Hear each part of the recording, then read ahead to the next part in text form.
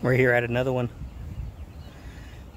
I heard quinceañera. They got everything set up. I'm gonna be setting up back here. I was looking at the horses. Got some horses over in that corner. Pretty cool.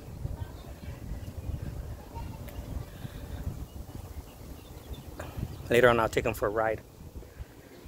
But yeah, I'm gonna set up back here. Got the dance floor right here, facing the house. Um, I told the homeowner, don't worry about power. Do not worry about power. But look at this. It's got lights back here too, so I won't be in the dark. That's pretty sweet. And you know what? I'm so tall. I might have, I might uh, get clothesline right here. I'm so tall. I'm gonna, you know what I mean? I gotta be careful. But uh, anyways, it looks pretty good. I'm gonna um, probably put the uplighting for the trees. Maybe the little gazebo. I got four uplightings. I got eight. I brought eight, so I'll probably put four there and two on the two trees and two in front of my speakers. That should be good. So let's start setting up. It's gonna be from uh, 6 to 11, five hours. Not bad, not bad.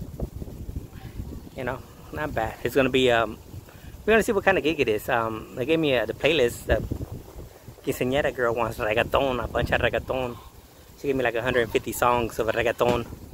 So we'll see. Mix it up with cumbias and reggaeton. We'll see what, what happens, what they ask for. But so far so good. Let's start setting up. Let's get to work. DJ Steady Manos. Peace.